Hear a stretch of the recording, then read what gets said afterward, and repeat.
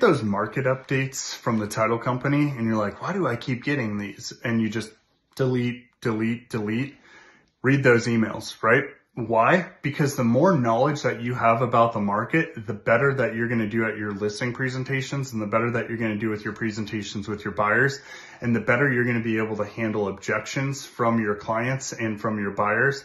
Not only that, but the better you're going to be able to understand how to price a property, how to get that property sold sooner and how to negotiate a contract. So make sure that you are looking at those marketing emails that you get from your title companies that show you the median list price, the days on market, the active inventory, the pending inventory, and the closed inventory.